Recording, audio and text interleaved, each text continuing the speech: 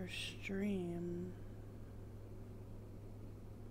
It needs to be one. Okay, testing. Testing.